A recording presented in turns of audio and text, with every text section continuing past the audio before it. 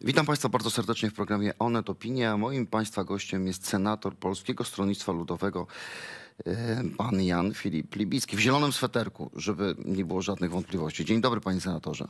Dzień dobry, dziękuję za zauważenie zielonego sweterka. PSL-u Koalicji Polskiej. Zauważam też y, na półce za, pana, za panem bardzo ciekawe publikacje. W sumie ułożą one się nam w ciekawą rozmowę. Widzę tam taką publikację o, widzę Pismo Święte, widzę Jezus, więc pana zapytam o taką rzecz. Weekend uroczystości y, rocznicowe Radia Maryja, masa biskupów, pół rządu, ważni ministrowie i ojciec dyrektor broni biskupa Janiaka, którego, ym, który jest posądzany o tuszowanie pedofilii i który został odsunięty przez Watykan od y, kierowania diecezją kaliską. W dodatku ojciec dyrektor wypala tak – to, że ksiądz zgrzeszył, no zgrzeszył, a kto nie ma pokus, niech się pokaże. I to jest odebrane dość jednoznacznie jako rozgrzeszanie tych, którzy nie tylko tuszowali pedofilię, ale też tych w sutannach księży, którzy się pedofilii dopuszczali. Jak pan jako katolik, jako człowiek, który ma Pismo Święte, księgę o Jezusie. Jak pan odebrał to słowo ojca dyrektora? Znaczy ja panu powiem tak, wypowiedź ojca dyrektora ryzyka jest czymś absolutnie oburzającym. Ja uważam, że ojciec dyrektor na chłodno skalkulował sobie, że w Polsce istnieje grupa dość pokaźna osób wierzących, katolików, którzy uważają, że każda krytyka osoby duchownej i każda krytyka ludzi Kościoła to jest atak na Kościół i postanowił postawić na tą grupę i czerpać z niej dla siebie pożytki. To po pierwsze. Po drugie, chciałem zwrócić uwagę na to, że ja już 9 lat temu mówiłem o tym, że ojca Tadeusza Rydzyka trzeba jakoś opanować. Zgłaszałem No ale wtedy... jak? Jak opanować? Już panu, już panu mówię. Zgłaszałem wtedy taki projekt, który hasłowo nazywał się Lex Rydzyk Ideą tego projektu było to, aby pozbawić ojca Tadeusza Rydzyka e, statusu nadawcy społecznego. Mogła to zrobić Krajowa Rada Radiofonii. Ale mówi, mówi, mówi pan teraz, żeby Radio Maryja nie była nadawcą społecznym, ale co by to zmieniło? Znaczy wie pan, no z całą pewnością e, to, że ktoś ma, jest nadawcą społecznym, ma pewne plusy, także finansowe. No państwo powinno w związku z tym moim zdaniem zadziałać i powiedzieć bardzo jasno, że ktoś, kto bagatelizuje takie przestępstwa jak pedofilia, nie może korzystać ze statusu nadawcy społecznego, ponieważ nadawca społeczny ma promować określone wartości, a nie antywartości, coś, co jest Dobrze, ale wie pan co, są dwa zjawiska. Pan był w, y, przez wiele lat y, y, działaczem Prawa i Sprawiedliwości. Osiem. Y, o, to jest dość dużo. Y, niewielu wytrzymało y, aż tyle. Proszę, proszę powiedzieć, jak pan odbiera to, co się działo po wystąpieniu ojca Tadeusza Rydzyka, czyli jednak większość polityków PiSu dystansowała się od niego. Niektórzy milczeli, no Zbigniew Ziobro, Solidarna Polska, był na tej mszy, jest prokuratorem generalnym, nie wypowiedział się publicznie, ale była krytyka. Joachim Brudziński krytykował to wystąpienie, część y, przedstawicieli rządu krytykowała to wystąpienie i Ryzyk się wycofał. I teraz tak, na ile to był pewien scenariusz polityczny zrealizowany y, po to, żeby zażegnać kryzys, y, a na ile Ryzyk szczerze pana zdaniem przeprosił za te słowa?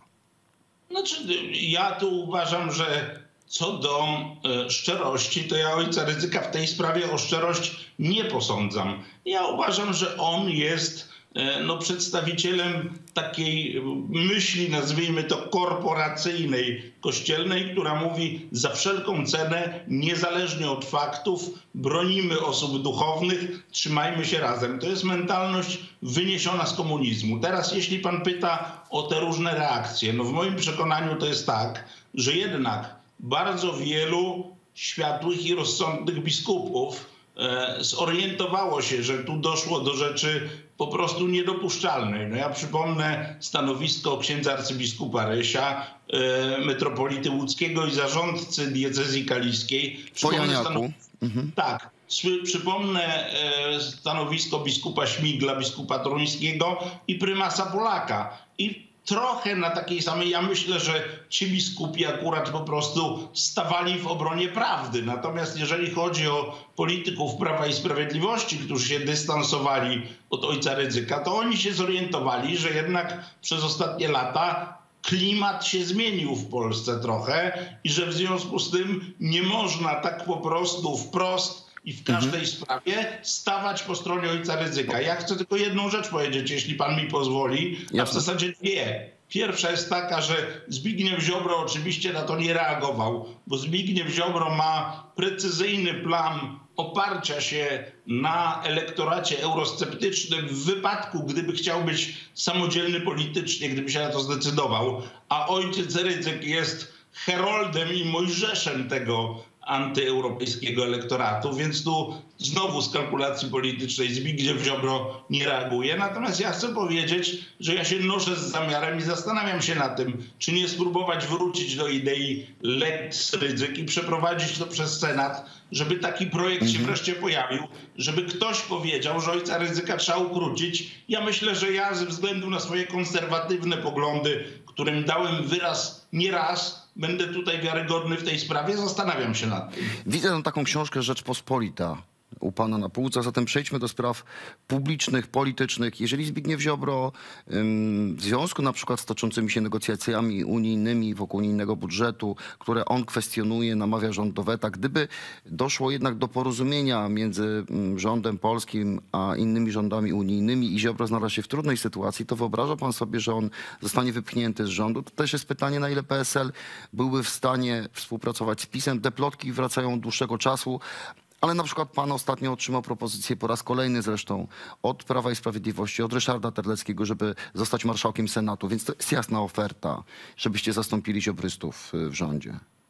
No to najpierw co do tych ofert i co do propozycji pana marszałka Terleckiego. Tak, taka propozycja padła. Ja już opadam z sił, e, powtarzając wszem i wobec, że ja nie jestem zainteresowany tą, tego typu propozycją ze strony PiSu. No ale może zamierzam. PSL jest zainteresowany, żeby to był szerszy pakiet współpracy, nie tylko fotel dla Libickiego. No dobrze, ale e, z całym szacunkiem, jeśli w tym pakiecie miałby się znaleźć Jan Filip Libicki, to jednak Jan Filip Libicki musiałby wyrazić zgodę na taką operację. Jan Filip Libicki na taką operację nie wyraża zgody. Odrzucam to i mam nadzieję, że to już jest ostatni raz, kiedy muszę się tłumaczyć, że nie jestem wielbłądem w tej sprawie. To jest to jest kwestia pierwsza. Jeżeli idziemy, natomiast mogę powiedzieć tyle, no to co powiedział pan marszałek Zgorzelski, ja się pod tym podpisuję. No w poszczególnych sprawach, jeżeli uznamy, że to jest sensowne dla Polski,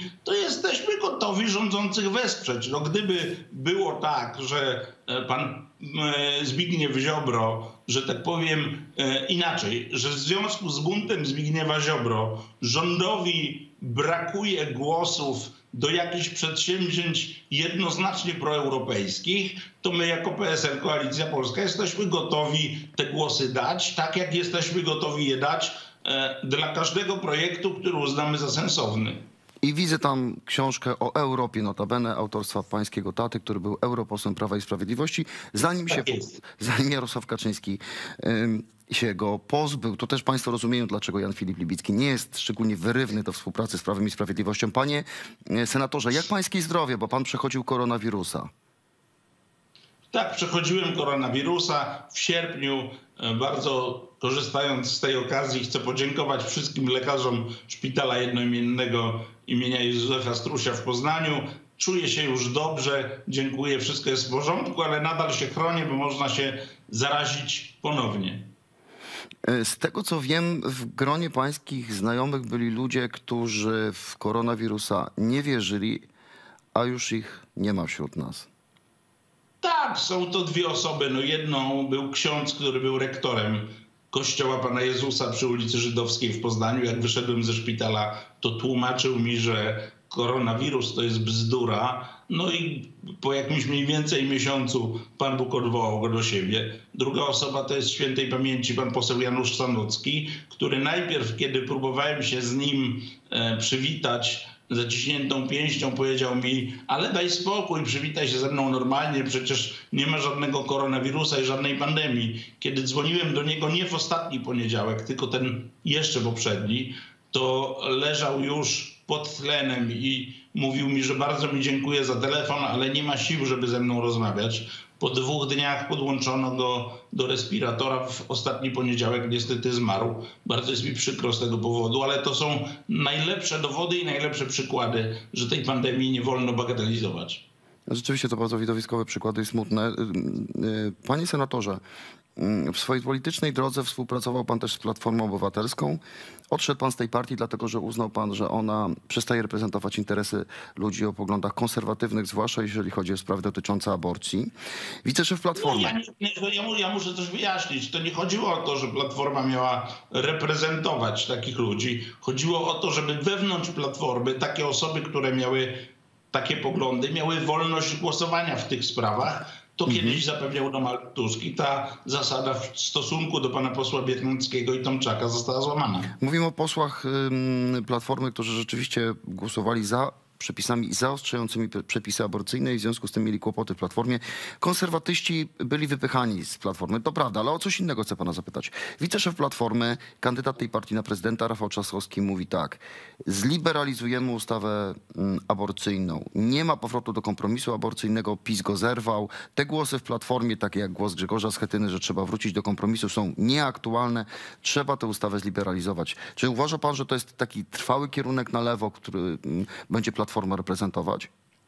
Znaczy ja uważam, że jeżeli taki kierunek będzie podtrzymywany, to dojdzie do pewnego paradoksu, a ten paradoks pole, będzie polegał na tym, że Grzegorz Schetyna zostanie wyrzucony z Platformy albo sam z niej odejdzie za odchylenie konserwatywne, czyli za to samo, za co usunął z Platformy swego czasu posłów Biernackiego, Tomczaka i panią Fabisia, która ostatecznie do Platformy koniec końców wróciła. To będzie pewien chichot historii, jeżeli okaże się, że na przykład Grzegorz Schetyna z 30 posłami, zwolennikami tak zwanego poprzedniego kompromisu aborcyjnego będzie musiał opuszczać Platformę jako konserwatywca. Panie senatorze, a pan, a pan jest zwolennikiem tego orzeczenia Trybunału Konstytucyjnego, które zakazuje aborcji w przypadku uszkodzenia płodu?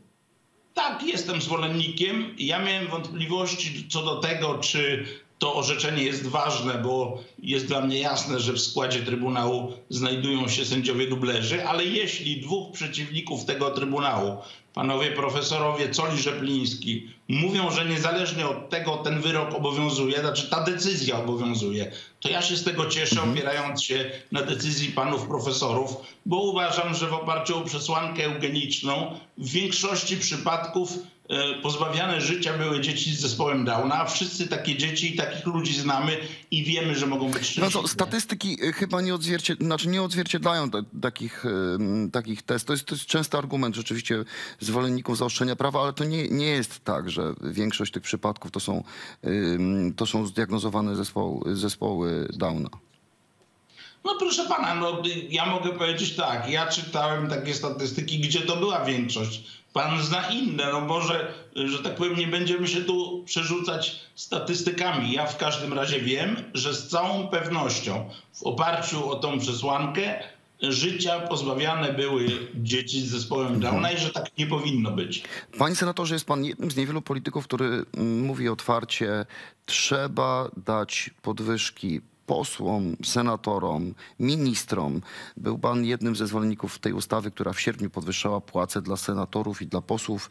Mieliście zarabiać 12,5 tysiąca złotych plus diety. Ile, ile, pan dzisiaj otrzymuje tak na rękę jako Proszę senator? pana, dzisiaj, dzisiaj otrzymuję na rękę 6 tysięcy złotych.